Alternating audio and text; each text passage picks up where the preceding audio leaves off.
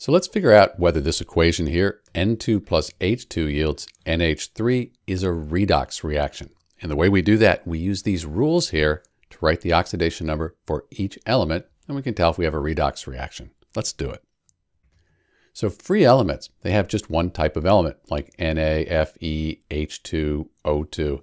So N2, that's a free element. Oxidation number zero. Same for H2. So we got those.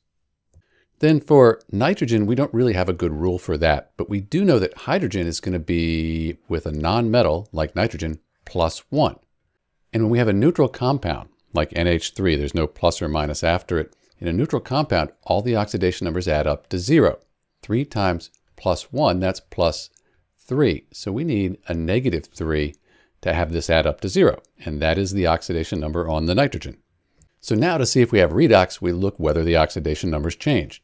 0 to negative 3. This got smaller. This was reduced.